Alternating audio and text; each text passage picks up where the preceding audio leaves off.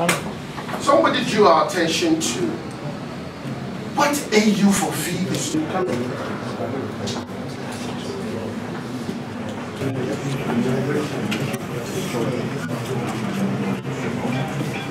no, no, you, you come and meet.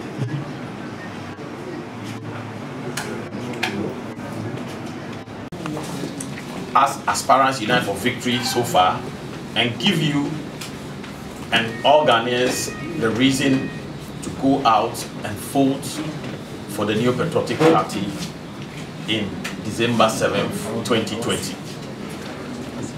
After losing our parliamentary primaries in the just ended primaries of the new patriotic party, members of this great and unprecedented political movement decided to come together under a very difficult circumstances associated with our losing the election in our various constituencies.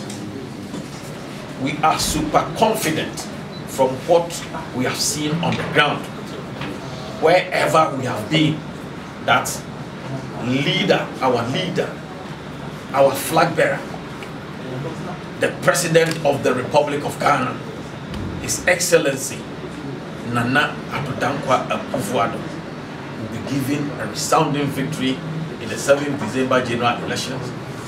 And we, the aspirant Unite for Victory, are proud to have contributed significantly in achieving the feast that Nana Dankwa Akufo-Addo is going to be giving for more term. The victory that we are seeing is equivalent. Urging all voters not to disglory themselves by looking down the ballot paper.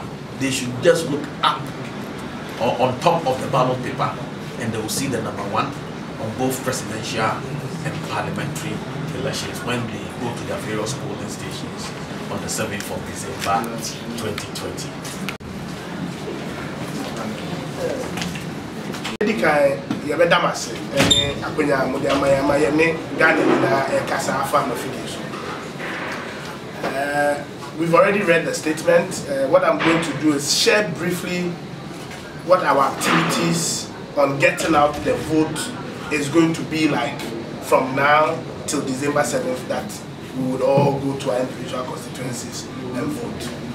From today, which is the press conference, we'll be storming the central market, uh, market uh, today, uh, talking to pockets of people and different groupings of people giving them the reasons why, irrespective of how how heavy the NPP campaign has been this election, we are winning it only when we cast our vote in the ballot boxes. And we must ensure that our ballots are stamped before we go and cast these votes. Tomorrow we are having a full day program, walking from homes to homes, houses to houses, pillows to pillows, bedrooms to bedrooms just to send the message that come December 7th, it is just 12 days away. Let's not make a mistake that because Nana Addo has worked, these days when you are walking around town, you don't even see the NDC. Because people are even ashamed to flaunt NDC. There's that tendency of people thinking, oh, we've won the elections already. So any slight excuse, they may say, oh, they won't go and vote. We just want people to remember that the elections have not been won until it's been declared by the EC.